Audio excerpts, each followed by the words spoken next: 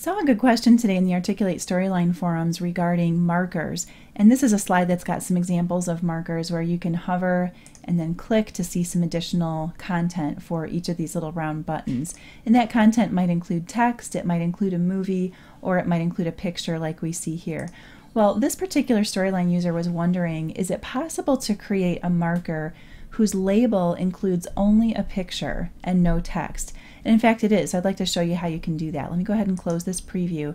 What we're going to do is add a new marker here. So I'm going to come up to the Insert tab and then choose Marker and then select one of the symbols here. We'll just go with one of these arrows and then I can drop that symbol right onto my slide and then the label opens up where I can add some content. So initially when you first add a marker it's going to look like this where there's this placeholder text up here where it says click to add title and click to add description. Well, the thing is, you don't really have to add any text there. Um, that um, placeholder text is just there for you. If you don't enter anything at all, you're not going to see this text when you preview or publish. So let's just go ahead and um, with this marker selected, I'm going to come up here to the Marker Tools Format tab, and we're going to choose Media, and then select Picture from Files so that we can add an image to our marker's label. And I'm going to go ahead and choose this beehive picture and then the picture drops right there onto my label. So right now it's kind of small, but what I can do is select the picture and that's going to give me this little handle that I can use to enlarge it. And I can make this pretty big. So what I would recommend doing is um, first go ahead and you know play around with your marker label and decide where you want it and maybe size it to be you know a particular size. Once you've got that label the way that you like it, then you can format the picture to fit nicely within it. So I'm going to select my picture.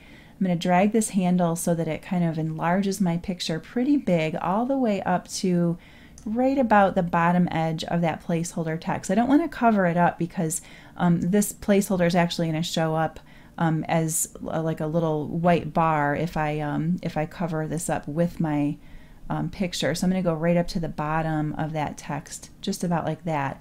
And then I can go ahead and preview or publish and see how this looks. So when I click on this marker, then my beehive picture appears.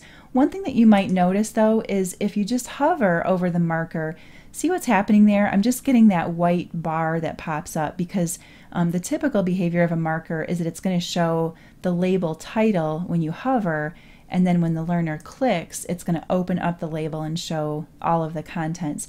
So what you might want to consider doing is select your marker and then up here on the Marker Tools Format tab, mark this box that says Show All on Hover. That way, um, the the entire contents of the label will appear when the learner hovers, and you won't get that funny you know white bar that pops up because that kind of looks like there's a mistake or something. Um, so this way, the learner hovers, everything appears, and then they can click to close the marker. So let me just give you a look at how that behaves. So here's the new one that we created. I'm just going to hover, everything pops up and opens, and then if I click, then it's going to close the label back up. So that's one way that you can create a um, marker whose label only includes an image and no text.